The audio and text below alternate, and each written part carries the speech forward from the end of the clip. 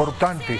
Vámonos a la información, porque de verdad que fíjense nada más, este domingo, pues 7 de noviembre, el fallecido actor Octavio Ocaña estaría cumpliendo 23 añitos de edad.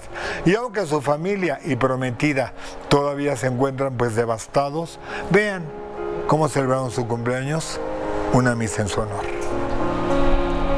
Estas son imágenes de la celebración, de lo que ellos quisieron, ¿no? Y, y, es una fiesta que se hicieron, que sí realizaron porque la tenían preparada.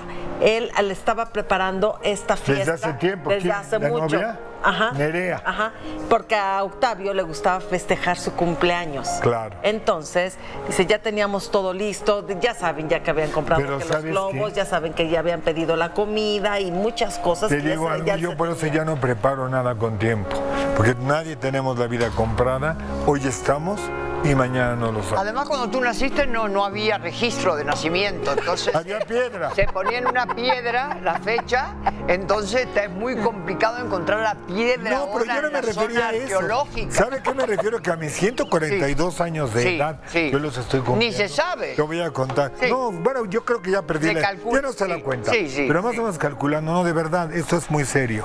Yo ya no preparo para dentro de ocho días, porque la vida nos ha cambiado mucho después de la pandemia. Solo por hoy. Y creo que hay que disfrutar solo por hoy, pero los papás hay que respetar su dolor. Y si lo quisieron celebrar, pues adelante. ¿no? Tengo una duda, Marta. Ajá. Tú como psicóloga más que como comunicóloga, ¿esto ayuda?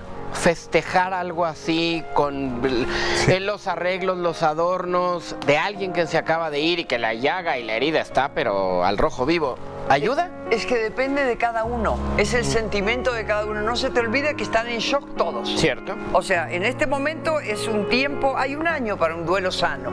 Entonces ellos están en shock y van a hacer lo que sea para tratar de, de entender que él ya no está. Entonces se sigue con un cumpleaños como si estuviera y todo lo demás, porque es, es natural. sí les ayuda a los natural. papás, como te digo. Depende de cada uno. Fíjate Depende que, de cada uno. Marta, fíjate que me recordó ahorita que Magda Rodríguez también hubiera cumplido un año más de vida. Ajá. Y Andrea Rodríguez y Andrés Calona, Claro. Habían su- preparado. su- toda su familia, las hijas de Andrea Rodríguez, se juntaron a cenar, como a festejar Claro. el, El cumpleaños. cumpleaños. Cumpleaños sí, de ella. y feliz cumpleaños, Magda. Sí, claro. Sí, pues como eso tú dices, depende cada quien. Entonces de ahorita me recuerda esto de Octavio Caña, que también, o sea, feliz cumpleaños, Sí, Octavio. claro. Y yo te digo la verdad, yo no lo haría. Yo, No, por yo ejemplo, tampoco, no. mi hermano murió en, en un diciembre, No, yo tampoco. eh, perdón, en un en, eh, último día de octubre, y cuando venía su cumpleaños, no había No no, no, no, festejo, no, claro. no lo sentía, No, no, no, lo sentía. claro. Dice como que no. Y mi familia, cada quien, Cada cual. con su dolor y con su Cierto, respeto, Sí. apoyando pero, pero obviamente es a mi parte mamá. del proceso, es parte, parte de- del proceso. Y fíjense Pero qué ustedes, bueno. por ejemplo,